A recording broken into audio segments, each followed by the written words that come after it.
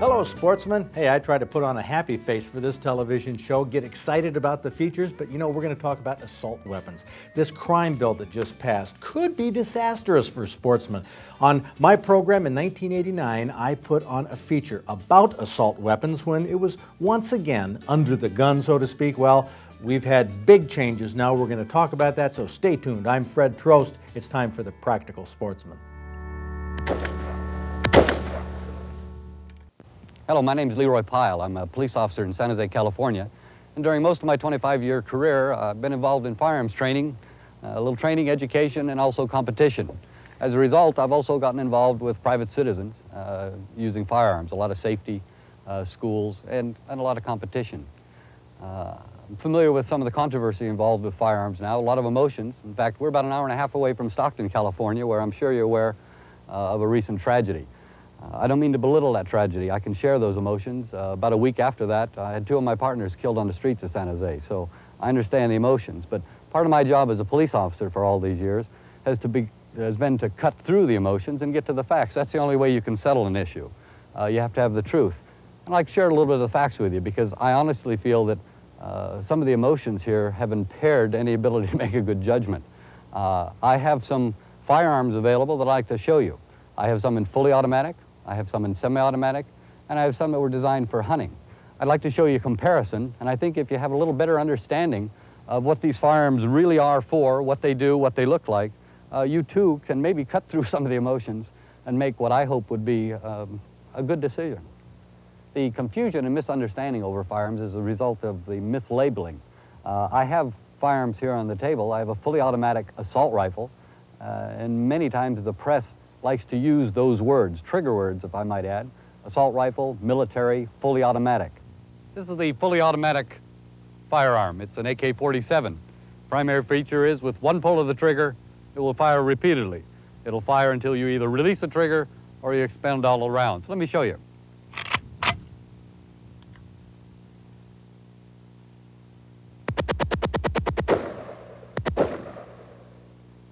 This is banned, it's prohibited, and limited almost virtually to police and military use. A citizen cannot go into the store and purchase this. And yet, uh, this is usually one that's displayed uh, on your television set. These are usually the terms used by the news media. This is a semi-automatic firearm, a look-alike, but very much different. One pull of the trigger, you get one round. You get another round, you have to pull the trigger again. Let me show you that.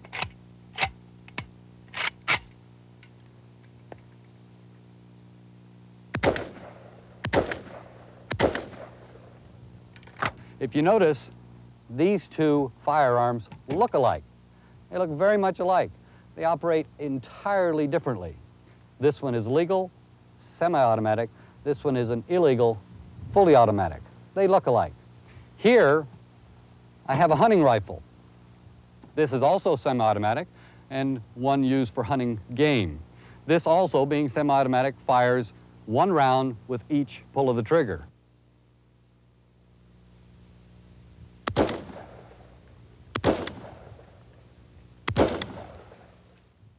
If you notice, these two do not look alike, but they function alike. They are virtually the same, only cosmetically different. It's important to keep that in mind. A person will say this is fully automatic. The uninformed, most of the time the press, will refer to this as a fully automatic assault rifle and this as a fully automatic assault rifle. Please, by definition, this is the assault rifle. This is the only one that's fully automatic. It's prohibited uh, for purchase uh, in the United States except by police and law enforcement. A semi-automatic is just that, semi-automatic. One pull of the trigger, one round. That's a technology that's over 100 years old. If you ban that technology, you ban about 20 million firearms. Let's take a little closer look at them.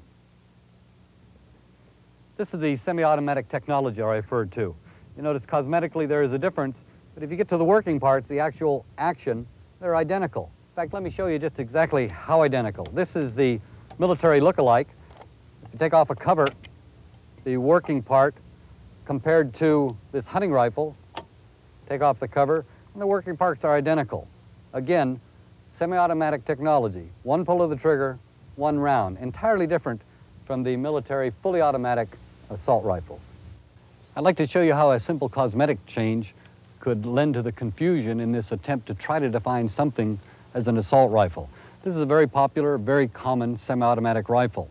Uh, it's in a very popular and common caliber, that's caliber 223. I'd like you to watch while I just change the looks and see if you can't see how it might get a little confusing.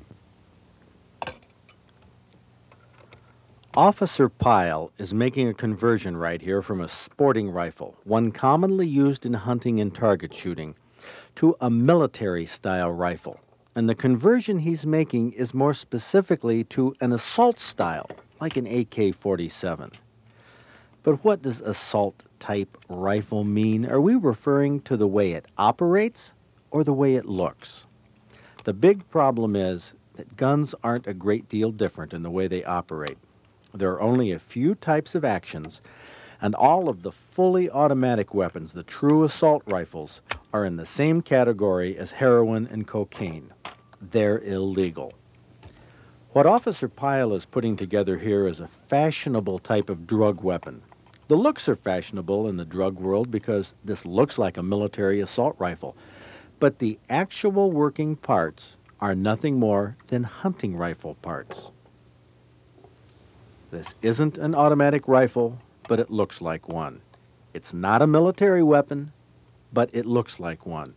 In the minds of many anti gunners, the fact that a semi automatic hunting rifle can be converted to look like this makes it a military type or an assault type rifle. As you can see, just changing from wood to plastic makes a big difference in its appearance and probably would even change a person's opinion.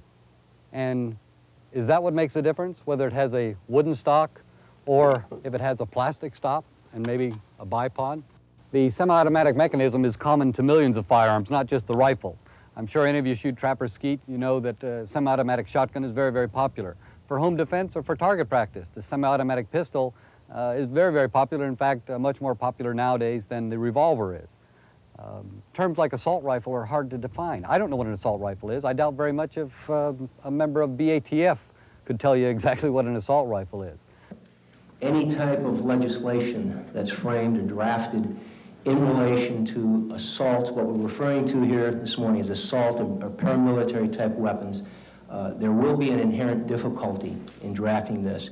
And the difficulty is that uh, it's going to be very hard to draw a clear uh, differentiation, distinction between uh, what we have as an assault type rifle and a semi-automatic sporting weapon.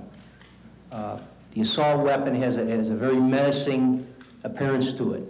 Uh, but this gun, technologically, as far as how it, it fires, is, is pretty much the same as a sporting semi-automatic rifle, with the exception that this firearm uh, has a, an exotic type appearance to it. Put a standard type stock on it and remove the bayonet mount. Uh, it would also even have the appearance of a, a sporting type weapon.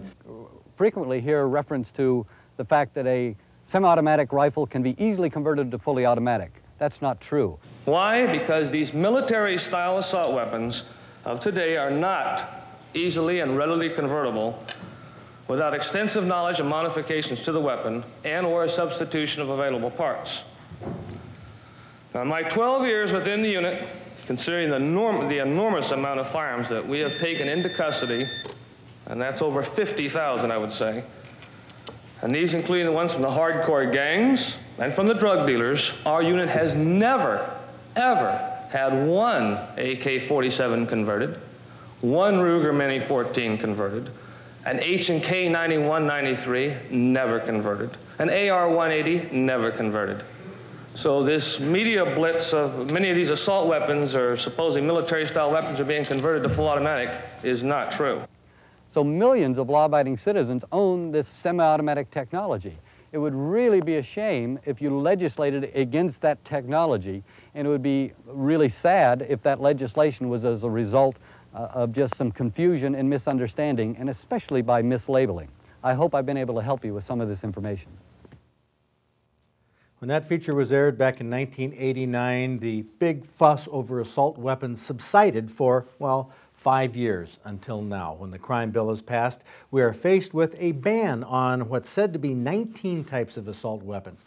Now, I've heard that this actually covers somewhere between 180 and 200 different guns. Now, guns, I mean, let's take a look at this. Here's a gun that can shoot and hold, I don't know, 50, 75, 100 shots. It holds BBs. You say, well, a BB gun, that doesn't hurt anybody.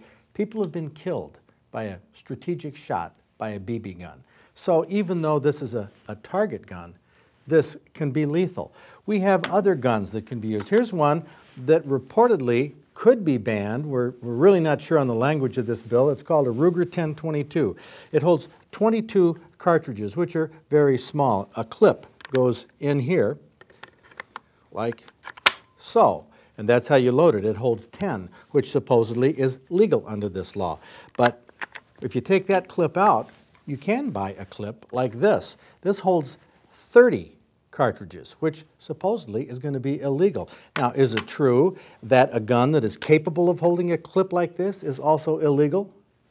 Well, this is a little uncertain at this time, but a lot of controversy is flying. And what about shotguns? Oh, the anti-gun people say, no, no problem with shotguns. If you look at this real close, you can see the pellets in here. There's sometimes hundreds of pellets in a shotgun shell. A shotgun can also shoot a slug like this heavy slug right inside here, an ounce of lead all at once, or it can be broken down into 15 or 20 buckshot pellets, which is what this is. Well, you could shoot this shell this from a single shot shotgun like this old one here came out of uh, somebody's basement is all rusted but you could put this 12 gauge shell in here Pull that hammer back and fire it, and it would be the equivalent of shooting 15 or 20 shots at once from a small handgun. That's the power at close range of a shotgun shell with buckshot. So you can see the problems that are looming here uh, with the control of guns. One thing that we hear about is an assault rifle, what it looks like. This could be called a riot gun. It looks very much like a riot gun if the barrel was a little shorter. But you know, riot guns, assault rifles, they're all derivatives from military weapons, and they are used for sporting purposes. Now, here's something that happened at our hunting awards banquet last year. Very interesting story about a young fellow who used a riot gun. From what, from what I heard in the story, this is a 13-year-old kid, Chad Keister. Yeah who's out there hunting with a police riot gun. that, that's what you put in your story here, John. He's out there with a riot gun, but you see his stepdad